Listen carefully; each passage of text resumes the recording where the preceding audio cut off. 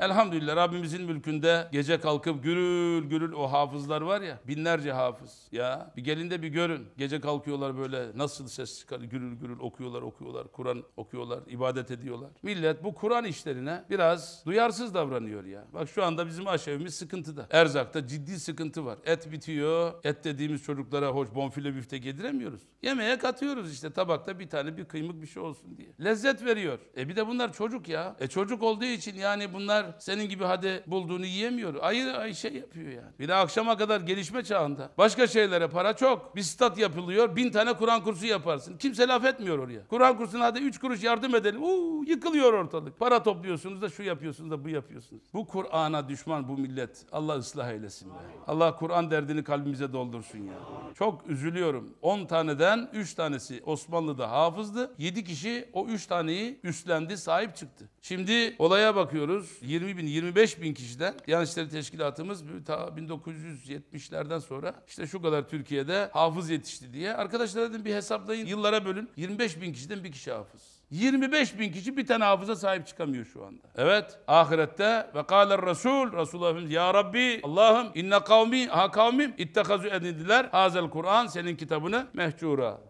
Attılar sırtlarına. Sahip çıkmadılar. Ben söylüyorum şu anda. Yaşadığımız bu. Şu anda Kur'an'a sahip çıkılmıyor. 30 senede bir tane Kur'an kursunu bitiremedik. Kabasını Bekir abi yaptı. 30 senedir uğraşıyoruz. İkincisi yapılamadı. Olmuyor. Vermiyor millet. Destek vermiyor. Kur'an diyorsun. Ha 1 lira yeter mi 1 lira? Yok yok. 50 kuruş ver o da olur. Plazalar, milazalar, binalar, iş yerleri havalarda uçuşuyor. On binlerce şubeler, mubeler havalarda uçuşuyor. Yatlar, katlar bizim yaşam hürriyetimiz yaşamayacağız mı? Hayatın tadını çıkar mı? Çıkar ya. Elhebtum tayyibatun fil hayati dünya. Dünya hayatında yediğinizi yediniz, içtiğinizi içtiniz. Ahirete bir şey göndermediniz kulların diyecek. Benim kitabıma da sahip çıkmadınız. Peygamber sallallahu aleyhi ve sellem şikayet edecek. Şu anda ben onu net görüyorum. Ben bu ümmete Kur'an dertlisidir diye şahitlik yapamam. Söyleyeyim. Bu bir sitem değil. Neden? FETÖ 3500 tane hainliğine bina yaptı. Bu millet ucunda para varsa her türlü desteği veriyor. E bizim mimara ihtiyacımız yok mu? Para para. Tabibe ihtiyacımız yok mu? Para. Ucunda para var ya. O yaldızlı cümleler. Geç onları. Geç. Bizim sonsuz cennete gideceğimiz imanlı gençlere ihtiyacımız var. Allah'ı bilen, peygamberi bilen, dinini, vatanını, ezanını, bayrağını, Allah sevgisini, din vatan için ölmenin ne olduğunu, cihadın ne olduğunu bilen gençlerin, ilim ehlinin yetişmesi lazım. Hani nerede? Nerede? Söyle. Yok. Yetişen 3-5 kişi. Bunlarla mı olacak? Koca bir yayla, 3 tane çiçek. 3 tane çiçekle yaylanın güzelliği çıkar mı ortaya? Peygamber söylüyor, ayet söylüyor. Yani bunu benden duyuyorsunuz diye kimse bana sitem etmesin. Peygamber sallallahu aleyhi ve sellem kıyamet günü Allah'ım senin kitabına sahip çıkılmadı. Allah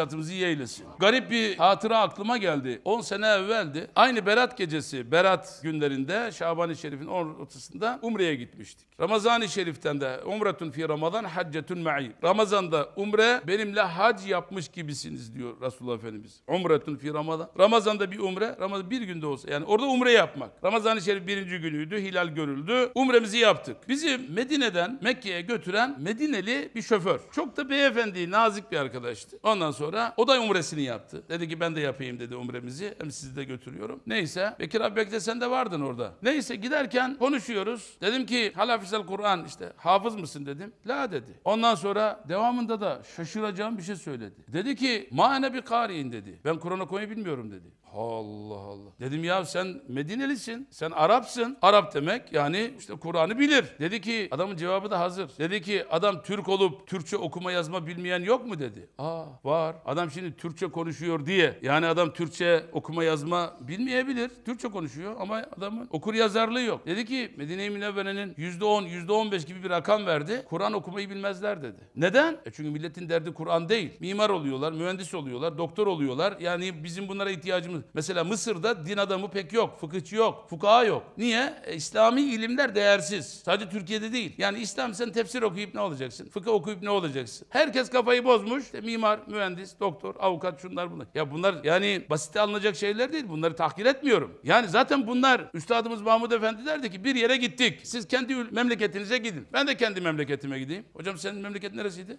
Gümüşhane'ye git. Şuradan başlayalım. Öğretmen lazım desek bulabilir miyiz? Söyleyin sessiz cevap verin.